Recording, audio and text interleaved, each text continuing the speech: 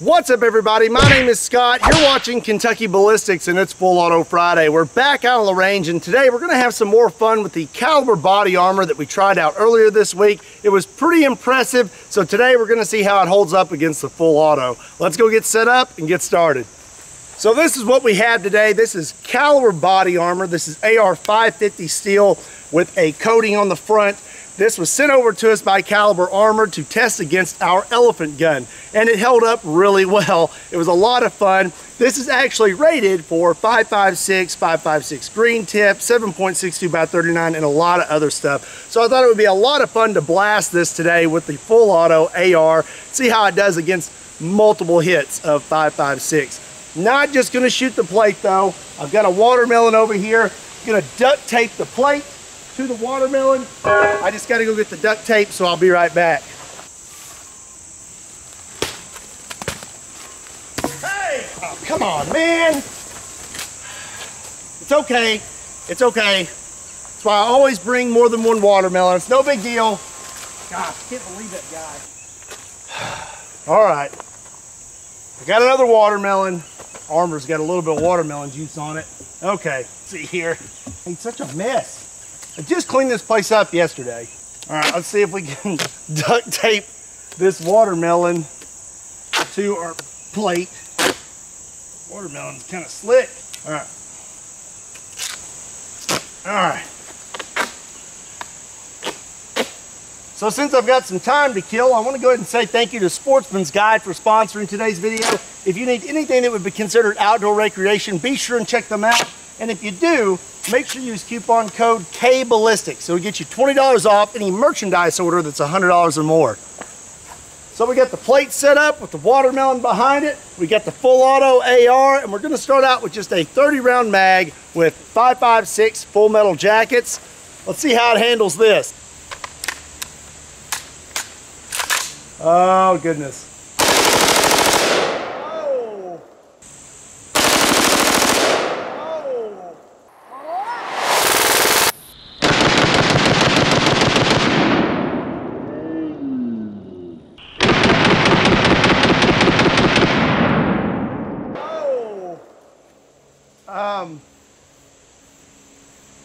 See if I brought another watermelon.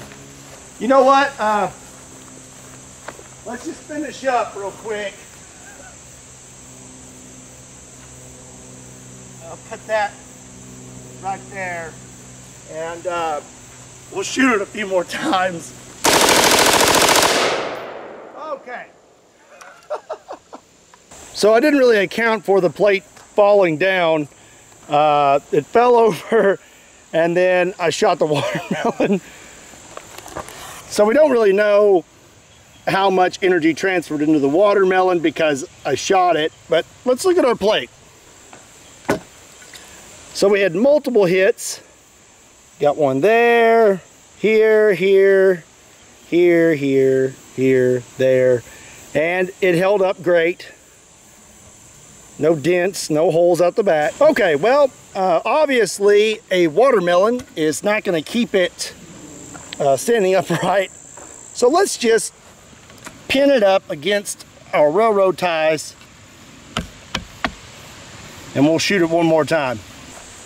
If you haven't noticed, I got new Kinfolk t-shirts. If you don't know the definition of Kinfolk, it's right there on the shirt.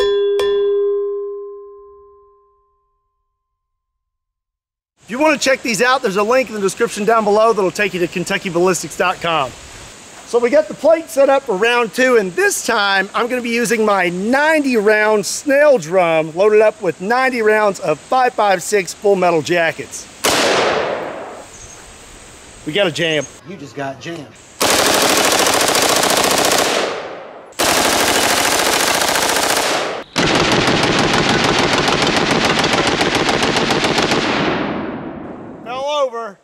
Let's go set it back up.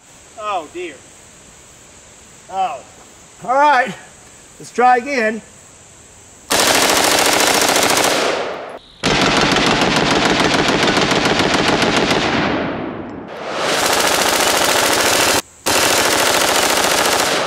Oh, it keeps, it keeps falling over.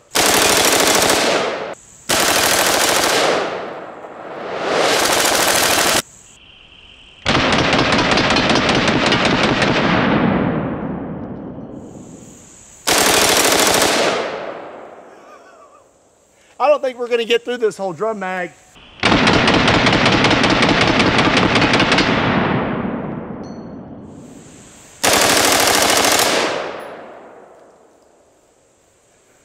You know what? It's gonna last few in the berm there and call it quits. So there's multiple hits on this plate. It's hard to see some of them because there's a lot of mud on this plate, but we hit it multiple times. Looks like it held up really well. Of course, we don't have any holes out the back, but we do have a hit here and there where it got shot when it was laying down. No big bulges back here or anything. It held up pretty well. The only thing that really didn't hold up was the plastic coating.